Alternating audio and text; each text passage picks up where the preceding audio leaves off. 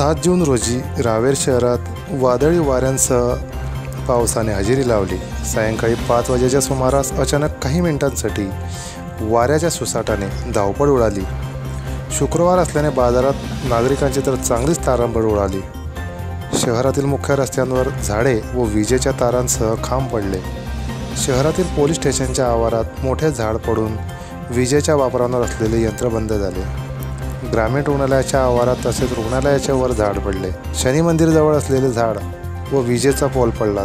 त्याच वेळेस खालून जाणारी रिक्षाला पोलचा धक्का लागल्याने रिक्षाचे नुकसान झाले.